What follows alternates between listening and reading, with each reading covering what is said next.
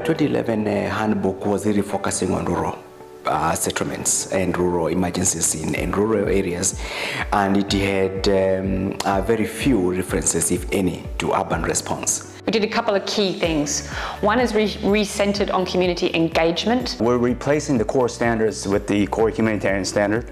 So there's a stronger coherence between the standard CHS and the new Sphere handbook. And just making sure that uh, we were looking at the response um, holistically. So to make sure that when you're addressing a food security need, you're also worried about the WASH uh, and health issues around it.